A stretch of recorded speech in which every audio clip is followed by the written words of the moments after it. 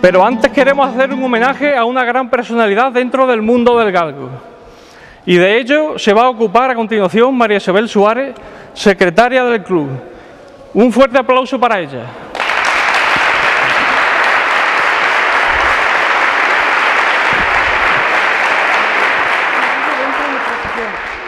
Él tiene una vida anterior a la profesional en el mundo del galgo que bien merece la pena mencionar. Y comenzaré a contar su historia. Desde su infancia, cuando solo era un niño de cuatro años, aprendiendo los sabores de la vida. Cuando su tío Teodoro lo cogía de la mano y lo llevaba de cacería con los galgos. Y sus ojos inocentes, los de un niño que contemplaba la llanura por primera vez. Junto a la figura de su tío, debió de sentir la impronta de todo un mundo galguero en su interior, que se le despertaría durante aquellas jornadas de caza en sus primeros encuentros con las liebres, en la finca que visitaba en el término de Torremejía. Con tan solo seis años de edad, acompañado por otros galgueros mayores, comenzó a, cazar por su cuenta y el guarda de la finca le preguntó que qué hacía. Y él le contestó que mirando las huellas de la liebre marcadas en el suelo, que cada vez estaba más junta, que no debían de andar muy lejos. Y aquella misma mañana localizó el solo una liebre encamada y dos conejos, sorprendiendo a toda la cuadrilla. Fue tal el sentimiento que se le despertó a tan temprana edad que a escondida de sus padres fabricó en una era a las afueras del pueblo un chozo de piedra y junto a un amigo ocultaban allí dos galgos y otros perros de caza, a los cuales alimentaba y paseaba por los campos más cercanos. Con tan solo 11 años de edad, él ya trabajaba de paradero por las noches. Y cuando acababa la jornada de trabajo a las 8 de la mañana, en vez de irse a descansar a su casa, se iba corriendo en busca de sus galgos, la ilusión de su vida. Y se iba con algún amigo a cazar a los estiles. Su padre entonces, ya conocedor de la gran afición de su hijo, le habilitó un corralón para que pudiese tener allí la gran ilusión sus galgos. Su padre recordará aquella galga de talla pequeña que su hijo cambió a unos gitanos por el mosquero de un caballo y la que después volvió a su casa desde Portugal hasta el Mendralejo, reencontrándose de nuevo con su dueño, la que se hizo una gran galga. Y su madre recordará a su hijo entrando por las puertas de su casa lleno de felicidad, con las liebres cogidas en las dos manos, después de una mañana de cacería con sus botas llenas de barro.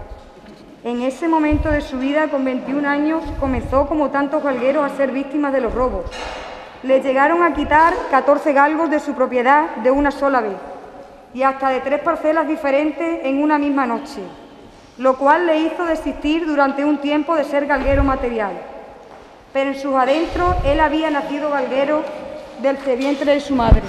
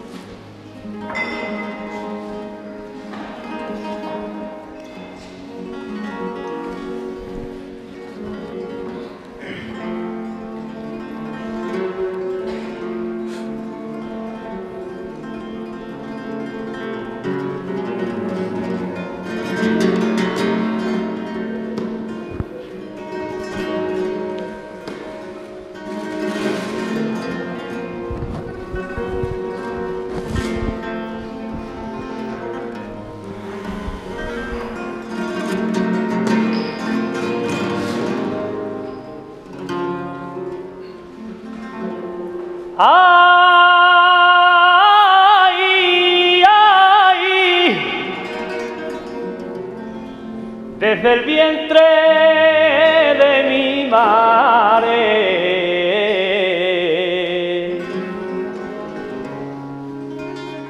Ay, ya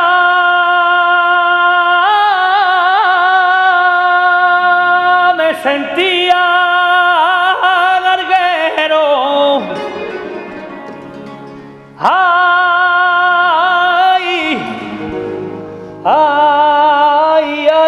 ay, ay, ay, ay, desde el vientre de mi madre. Los llanos fueron mi cuna, mi despertar oh, fue ay, más fortuna, ay, ay, ay,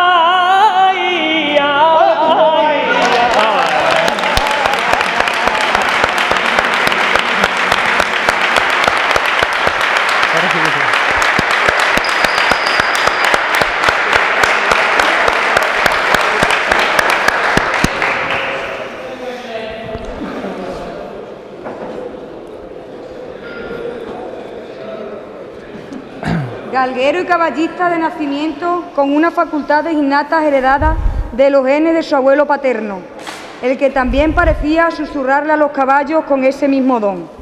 Así que gran jinete y domador y galguero hasta las entrañas, los galgos volvieron a su vida como no, como no podía ser de otra forma, como un poderoso destino que hubiese estado escrito y que nadie pudiese arrebatarles. Entonces comenzó una increíble carrera profesional dándose a conocer como Remis Márquez, ejerciendo de cargo técnico a un solo juez sortador, cronometrador, director de carreras, desempeñando todos los papeles en una sola persona. En las competiciones de campo, actuando en competiciones como la Collera, Galgos Lance, la Arcarria, la Copa de la Ina, Copa Aranda, el Galgo Español, en la Federación Extremeña, Campeonato de Andalucía, en la Copa Internacional de Portugal, en la Internacional de Toledo y en la Federación Española tanto en provinciales como nacionales, siempre dispuesto a ayudar a los clubes como los de Montijo, La Perdiz de Talavera, La Real, Roca de la Sierra, Pueblo Nuevo de Guadiana, etc. Y ayudando a otros cargos técnicos, muchos de los cuales han soñado siempre calvargar a su lado y aprender de él.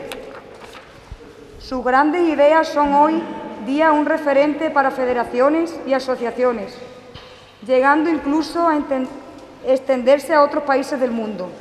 Él, además de ser juez nacional e internacional de campo, es también juez nacional e internacional de morfología de raza del galgo extremeño y del galgo español, y presidente y fundador del Club del Galgo Extremeño, descubriendo dicha raza. Por si fuese poco, él es también delegado de Extremadura del Partido Anatur, en defensa de la caza y del mundo rural, y además ha sido nombrado vicepresidente de Kennel, Club de España. En nombre de toda la directiva del Club del Galgo Extremeño, hacemos entrega de un obsequio que le entregan sus padres en agradecimiento a todo su esfuerzo y el trabajo realizado en el mundo del galgo. Él es Remis Márquez.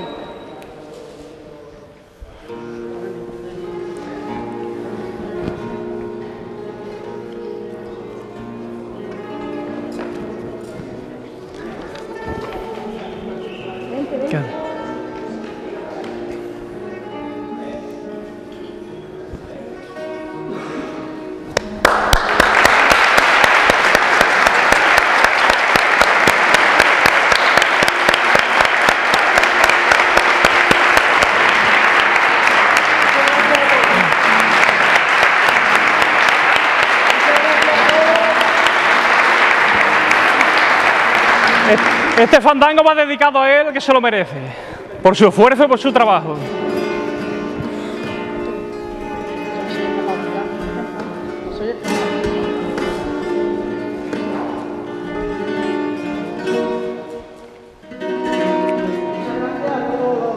compañeros y compañeras que se la vengan a regalar. De competir.